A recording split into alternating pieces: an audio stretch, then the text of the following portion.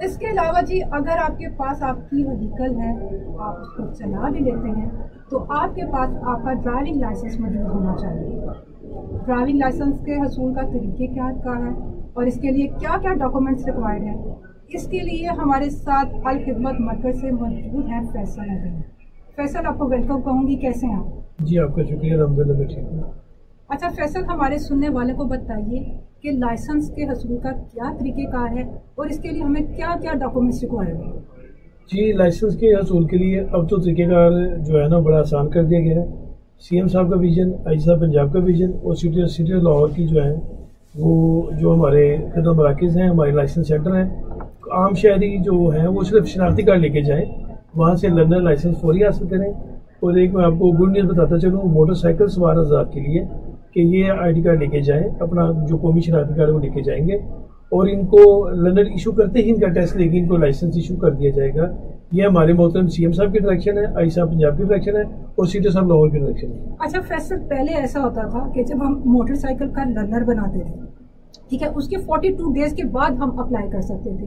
یعنی اب یہ جو ہے، اس پیریڈ کو ختم کر دیا گیا ہے۔ اب آپ فوری طور پر لائسنس کے لیے اپلائی کر سکتے ہیں۔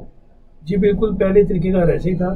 اب صرف موٹر سائیکل حضرات کو یہ سہولت دی گئی ہے، کیونکہ لاہور میں موٹر سائیکل حضرات کی بہت بڑی تعداد ہے۔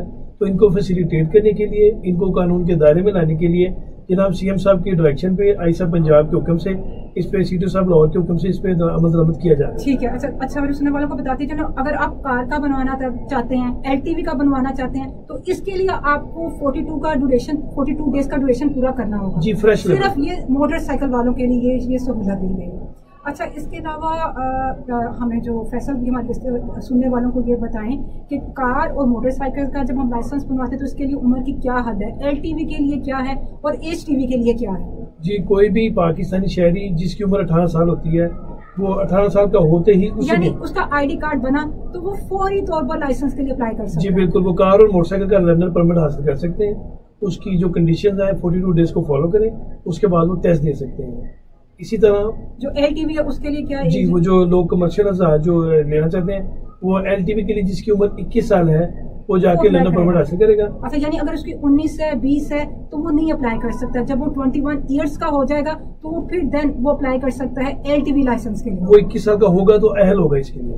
ٹھیک ہو گیا۔ اور اسی طرح ایچ ٹی وی کے لیے کیا ہے؟ H T V onward بھی بائیسویں سال سے ایچ ٹی وی اسٹارٹ ہو جائے گا اس کے لیے۔ اچھا بائیس میں لیکن میرے خیال میں ایچ ٹی وی ہم ڈائریکٹ نہیں بنوا سکتے۔ اگر ہم کار سے ہم ایچ ٹی وی پر جانا چاہتے ہیں تو تھری ایئرس کا میرے خیال میں آپ کو پیریڈ آپ کا ڈوریشن پورا کرنا ہوتا ہے۔ اور جب ہم نے ایل ٹی وی بنوایا ہوتا ہے تو اس کے ون ایئر کے بعد ہم ایچ ٹی وی لائسنس کے لیے اپلائی کر سکتے جی کر سکتے ہیں ٹھیک ہو گیا۔ اچھا اس کے علاوہ مجھے یہ بتائیے کہ جب ہم ڈرنر بنواتے ہیں تو فورٹی ٹو ڈیز کا ہم نے ڈوریشن پورا کر لیا۔ اس کے بعد جب ہم ریگولر لائسنس بنوانے کے لیے جائیں گے تو اس کا کیا پروسیجر ہوگا؟